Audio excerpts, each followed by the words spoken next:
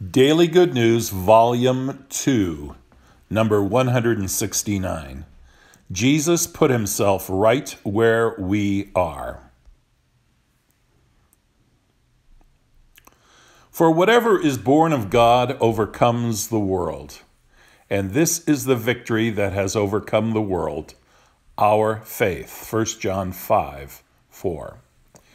If we were to be saved by being delivered from the flesh, just as it is, then Jesus need never have come to the world.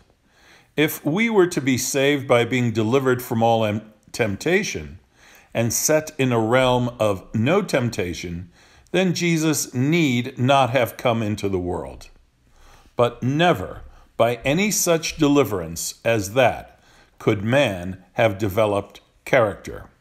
Therefore, Instead of trying to save people by delivering them utterly from the flesh, just where they are, Jesus came to the world and put himself in the flesh.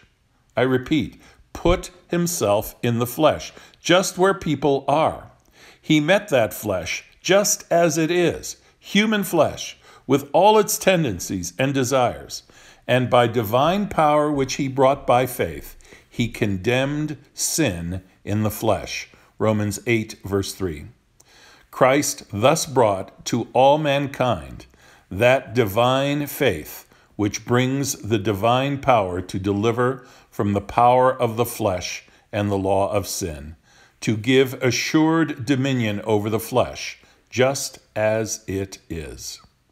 Instead of Jesus trying to save people in a way in which they would be limp and characterless, by setting them in a realm of no temptation, he came to man just where man is, in the midst of all his temptations.